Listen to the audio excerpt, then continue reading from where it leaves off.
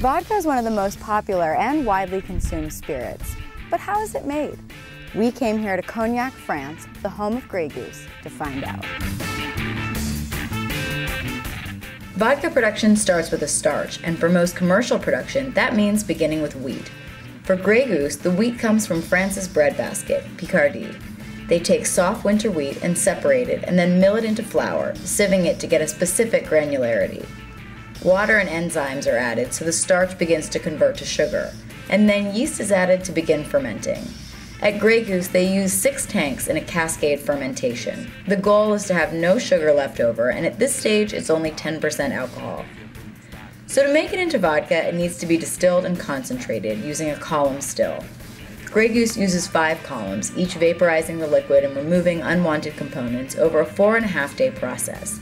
In the end, the liquid is concentrated into 90% pure alcohol. To bring the alcohol down to 40%, all vodkas must add water. Since the quality of the water is such a key ingredient, Grey Goose brings the distilled spirit here to Cognac, where the water is rich from the limestone in the soil. It's filtered once again and then ready to make its way to the consumer. It's a long process, but one that all vodka drinkers are grateful for.